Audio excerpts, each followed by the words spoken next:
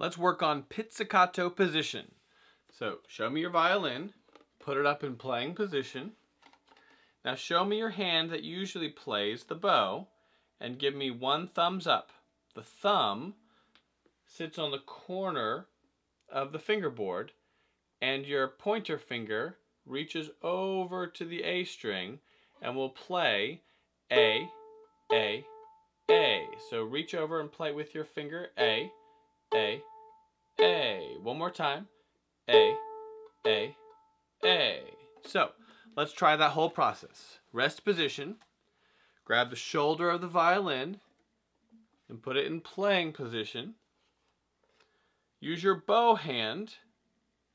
Put the thumb not on the bridge, not on the strings, but on the corner of the fingerboard, that black part. And then your pointer finger will reach over to the A string and will pluck A, A, A, A, A, A.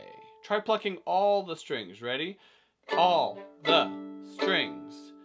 All the strings. Now just the A. A, A, A, A, A, A. Now stay right there. Stay right there.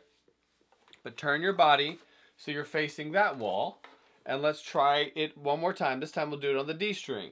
D, D, D, D, D, D. All the strings now. All the strings. All the strings. Now put it in rest position and